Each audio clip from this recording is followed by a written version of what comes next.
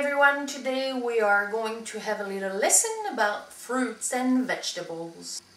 Peach, barack, barack, barack, avocado, avocado, avocado, avocado, pear, körte, körte, körte, apple, alma, alma, alma, mandarin, mandarin, mandarin, mandarin. I hope that this lesson was useful to you and uh, that you learned something interesting and I hope to see you very soon for another video. Bye bye!